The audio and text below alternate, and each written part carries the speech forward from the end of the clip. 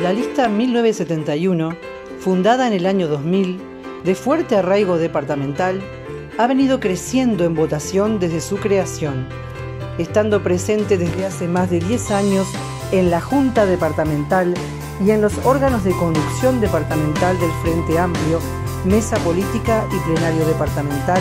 con voz y voto. Presente también en cada una de las comisiones de trabajo que se conforman desde allí. En esta oportunidad nos presentamos con la candidatura del compañero Raúl Licandro